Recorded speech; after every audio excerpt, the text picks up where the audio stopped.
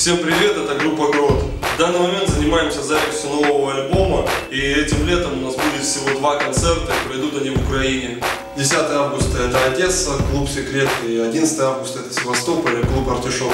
Приходите обязательно, будет очень интересно. Это будет немного больше, чем просто концерты. Мы будем напрямую общаться со слушателем и, конечно же, прочитаем самые лучшие треки со всех наших релизов.